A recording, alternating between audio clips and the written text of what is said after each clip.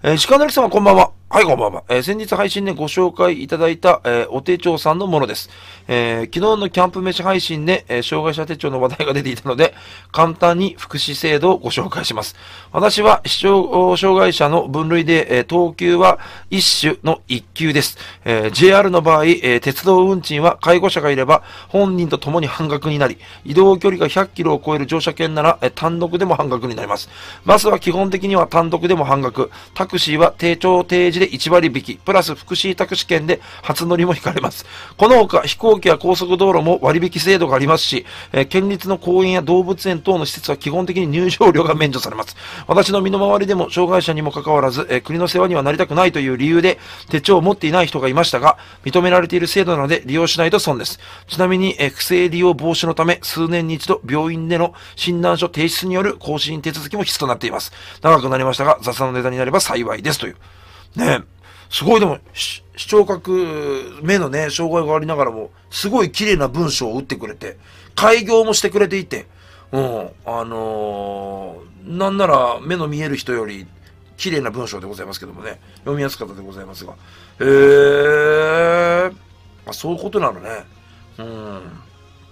まあでも、あのー、ねそれだけ、だ、だってさ、あの、そんだけいろいろ割り引かれるものがあってもさ、やっぱ目が見えないとかっていうわけですからね。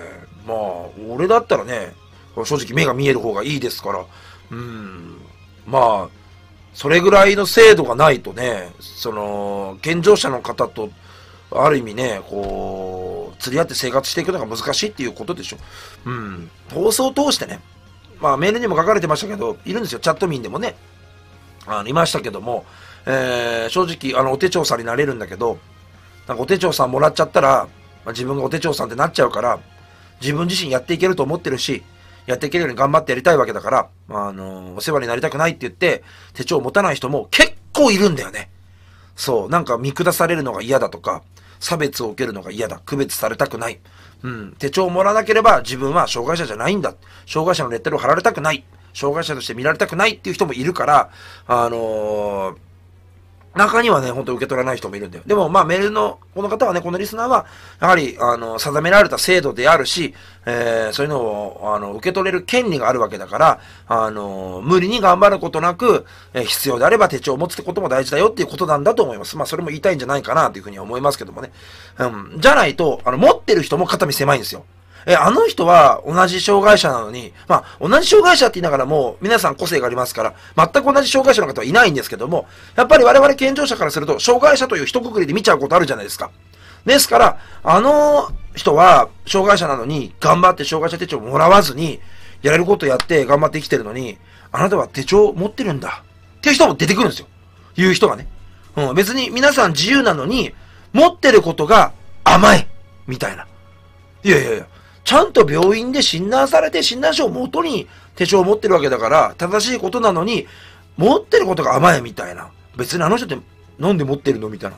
なんか別に持てなくてもやりそうじゃないみたいな。あの人は持ってないのにこの人は持ってるんだ。みたいな目で見る人もいるんやろね、きっとね。うん。だから、あのー、ある種、その、持てるのであれば全員持った方が平等に見られるから、っていうところもあるんじゃないかなと思います。まあ難しいですよね、この話はね。うん。まあ、あの、個人間の話がありますから、はい。どちらか正しいというわけではありませんけどもね。うん。えー、最近の悩み、えー、本日も楽しい配信ありがとうございます。早速ですが僕の悩みを聞いてください。えー、殿が大好きです。リスペクトしています。ありがとうございます。えー、僕は仕事中にミス、ミスをすると、えー、あれをあでとか、俺をおでと言ってしまいます。どうしたらいいでしょうか？ご指摘お願いいたしますというね。ああ、なるほど。配信ワードみたいなのをリアルで使ってしまうっていうのよね。うん。いました。昔、あの、足軽でいました。えー、退勤するときね、会社からあ退勤するときに、おつって言ってしまいますっていう。どうしたらやめられるのでしょうかと。周りから冷たい目で見られますというね。うん。体験した時におつって言っちゃって。まあ、多分その部類だよね、きっとね。うん。わかるわかる、それはね。あのー、ネットスラングっていうか、ネットワードみたいなのをリアルで使ってしまうっていう。猫をぬことかね。これ相当気持ち悪いらしいね。うん。やっぱり、ネットあまりしないリアルな人は猫は猫じゃないですか。だけど、ネットでは猫をかなりぬことか犬とか言うじゃん。そう。で、その、犬はね、言わんよ、さすがに。ちっちゃいつって言いづらいから、リアルで犬がいるゲーマーに遭遇しても犬は言わんけど、ぬこって結構言いやすいやん。そう、だからぬこぬこってなっちゃって、ほんで、森これ、ぬ、ぬこ？みたいな。ぬこ？ってなって。あ、猫だよ、みたいな。あ、そうだよね。猫、うん、猫？変な、猫、猫だよね、つって。うん。っていうのはありますからね。そう。まあでもいいんじゃないですか。ね昔若い女の子のリスナーがね、あのー、小学生ながらに放送でね、こう、あのー、覚えてしまったワードを学校で喋ったんですよ。で、そのワードが何かっていうと、チョンっていう。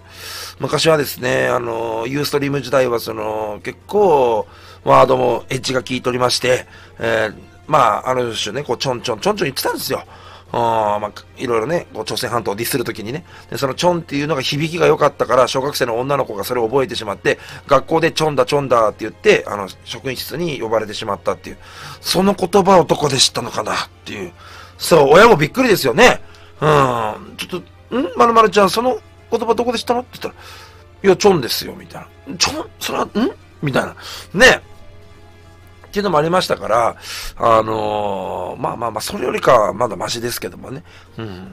私はいつまでもやりますのでよろしくお願いします。僕にとって配信は遊びじゃねえ。お疲れ様でした。Thank you! です。